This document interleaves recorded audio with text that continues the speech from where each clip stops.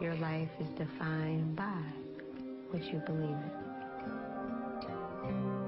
And I believe that Every time that there is a struggle, it is nothing but a preparation for what's yet to come.